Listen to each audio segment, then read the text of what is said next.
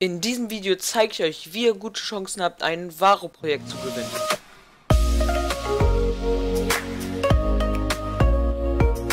Yo, hey Leute und herzlich willkommen zu einem neuen Video auf meinem Kanal. Heute zeige ich euch mal ein paar Tipps, wie ihr ein Varo-Projekt gewinnen könnt. Und zwar mache ich dieses Video jetzt nur, weil Varo ja jetzt um 12 Uhr gestartet ist. Und ich mir dachte, weil jetzt viele andere YouTuber vielleicht jetzt auch so ein Varo-Projekt starten und das halt einfach so nachmachen. Und dann wollte ich auch einfach mal ein paar Tipps zeigen, wie ihr besser in Varo werden könnt oder was ihr beachten müsst. Fangen wir mit Tipp 1 an. Diesen Tipp kennen äh, schon sehr viele, aber manche wissen noch nicht, dass das besser ist. Also, der perfekte Start ist halt so, manche bauen hier diesen Holzblock ab das dauert halt viel länger, deswegen baut man einfach nur diesen Grasblock ab und dann ist man schon draußen. Kommen wir zu Tipp 2. Bei diesem Tipp könnt ihr sehr viel Zeit sparen, aber nur im nicht am Anfang, also nicht in den ersten zwei Folgen oder so. Das geht halt auch in den ersten zwei Folgen, aber das ist halt schwer.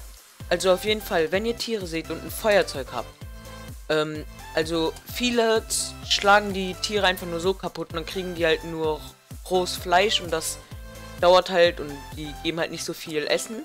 Und ihr müsst die halt noch im Ofen so warm machen, also braten. Und ihr könnt die einfach anzünden und töten. Und dann kriegt ihr direkt schon Steak so. Also gebratenes Fleisch und das ist dann halt viel besser und das spart doch sehr viel Zeit. Und dann könnt ihr die Tiere einfach so anzünden und dann einfach töten und dann habt ihr Steak. Kommen wir zu Tipp 3. Wenn ihr ein Steinschwert habt und damit halt ähm, kämpfen wollt und ihr noch ein Holzschwert im Inventar habt, und jetzt die Tiere äh, seht, tötet sie nicht mit dem Steinschwert, sondern mit dem Holzschwert, weil dieses Holzschwert benutzt ihr ja so oder so nicht. Und das ist halt dann viel besser, weil dann nutzt sich das Steinschwert halt nicht ab. Und ja, also dann einfach immer mit dem Holzschwert die Tiere töten. Kommen wir zum nächsten Tipp. Wenn ihr gegen einen Gegner spielt, benutzt alles, was ihr im Inventar habt. Lava, Eimer, Feuerzeug, benutzt einfach alles. Spamt von mir aus auch. Also wenn ein Gegner auf euch zukommt, benutzt einfach euer Feuerzeug, weil das macht ihm halt immer halben Schaden. Und dann könnt ihr wegrennen, dann setzt ihr einen Lava-Eimer oder so und dann ist er da drin und verbrennt einfach. Kommen wir zum nächsten Tipp. Wenn ihr in den Nether wollt und Angst habt, irgendwie an Feuer zu sterben, dann nehmt euch einfach einen Wassereimer mit und einen Kessel, weil da ist halt der Vorteil, wenn ihr jetzt in Nether geht. So, ich bin jetzt hier im Nether. Und wenn ich jetzt hier durch die Lava schwimme und dann meinen Wassereimer setze, funktioniert das nicht. Also wenn ihr jetzt brennt, setzt ihr einfach den Kessel, setzt da Wasser rein und geht in den Kessel rein. Und jetzt seht ihr, ich war drin und das Wasser hat sich halt so gesenkt. Und jetzt kann ich das nicht mehr wieder rausnehmen, aber wenn ihr halt ganz viele Wassereimer dabei habt, wird das dann auch funktionieren. Und dann könnt ihr euch sicher sein, dass ihr nicht mehr an Lava stirbt. Ich zeige es euch jetzt nochmal. Ich gehe jetzt wieder in die Lava rein. So. Okay.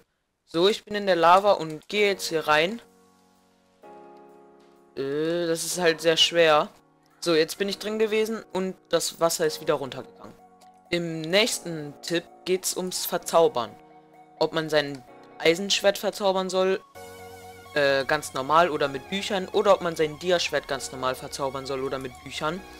Und ja, also ihr setzt halt jetzt euren Zaubertisch hier hin und ich fände es besser, wenn man sein Diaschwert mit Büchern verzaubert, weil das geht halt einfach besser, weil man da so gucken kann, Stärke und so alles, dann kann man das besser ähm, für ein Diaschwert benutzen, weil dann kann man die Bücher hoch verzaubern. Und beim Eisenschwert kann man es so machen, man hat ganz viele, sag ich mal, nimmt das, dann verzaubert man das noch. Und dann kann man die im Amboss zusammentun, weil Eisen kriegt man halt überall also Eisen findet man halt sehr oft und Dias halt nicht, deswegen würde ich Dias so mit Büchern verzaubern. Im nächsten Tipp zeige ich euch, wie ihr Level sparen könnt beim Amboss, also wenn ihr Items zusammen craften wollt. Und es ist halt so, wenn ihr diese Sachen jetzt so zusammentut, kostet das 5 Level, aber ihr könnt die auch mal so tauschen und dann seht ihr, dass es nur noch 3 Level kostet. Und dann habt ihr Level gespart beim, Verzau äh, beim Amboss. Wenn ihr eure Schwerter verzaubern wollt und ihr jetzt eure ganzen Eisenschwerter zusammen verzaubern wollt und ihr jetzt zwei Eisenschwerter habt, mit den Verzauberungen ihr nichts anfangen könnt, schmeißt die nicht weg, ihr könnt die so zusammen craften und kriegt dann ein neues Schwert wieder, was ihr dann erneut verzaubern könnt. Das war's mit dem Video. Ich hoffe, euch haben die Tipps gefallen und wenn ihr ein wahre Projekt macht, wendet diese Tricks an und schreibt mir doch mal auch Tricks in die Kommentare, die ich nicht erwähnt habe und dann ciao.